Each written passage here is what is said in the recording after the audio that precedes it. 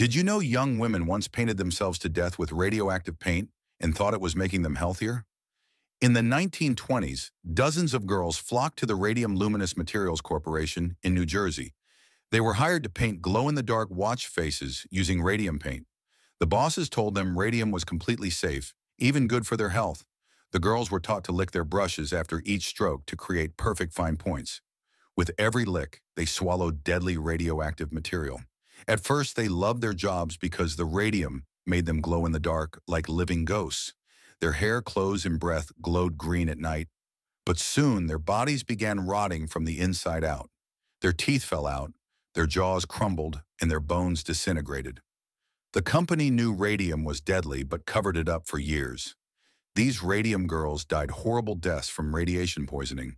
Their legal fight changed worker safety laws forever, but it came too late to save them.